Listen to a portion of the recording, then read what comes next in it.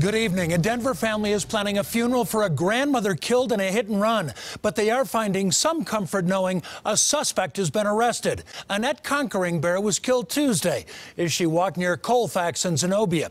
CBS 4 Shawn Chitnis talked to Annette's family today. Sean, the arrest is some welcome news as they cope with a real tragedy. Well, Jim, certainly what is making it even more of a challenge is the fact that we are just days away from Christmas, and today would have been Annette Conquering Bear's 52nd birthday. So, of course, the family is trying to celebrate her life, but as we can see here, they are still trying to process the fact that they have lost her tonight. Now, of course, they do say there is some help in knowing that an arrest has been made, and that is helping them to start the healing process.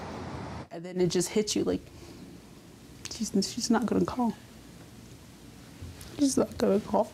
Less than 48 hours after a man hit and killed Annette Conquering Bear while she was walking home from Walgreens, her son and daughter still don't believe she's gone, but they can feel her presence sitting in her apartment. She's keeping us strong because it's what she wanted us to do. Taken too soon from them, she would have turned 52 on this day. Even more upsetting, how close she was from being right where they are now. She was right there in front of her home. She had to walk a couple steps and she was fine.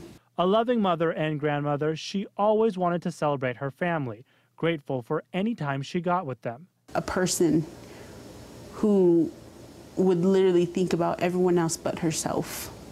She had health issues and needed a lot of medication. Her children say they find some relief knowing she is no longer in pain. She's happy where she's at. Whatever she had, she would give it up without thinking for anyone who needed it.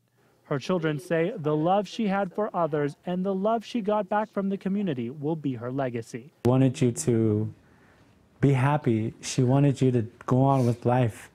Um, she had a heart full of gold. Police tell us the man they've arrested in this case is 39-year-old Juan Sanchez. They say that he was driving a friend's car at the time of that hit and run on Tuesday night right here.